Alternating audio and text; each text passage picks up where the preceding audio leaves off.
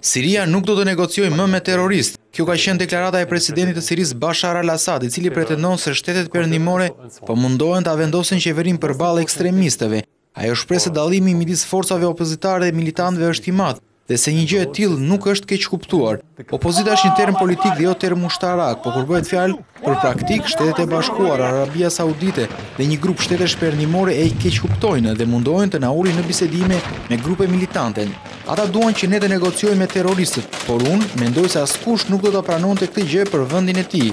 Më tej, Assad shtoi se qeveria e tij është e gatshme që të diskutojë me opozitarët, por duke vendosur disa kushte. Sipas tij, çdo grupim duhet të dorëzojë armatimet përkatëse në mënyrë që palët të dialogojnë dhe aktivistët e burgosur të profitojnë nga amnistia e premtuar nga Bashar al-Assad.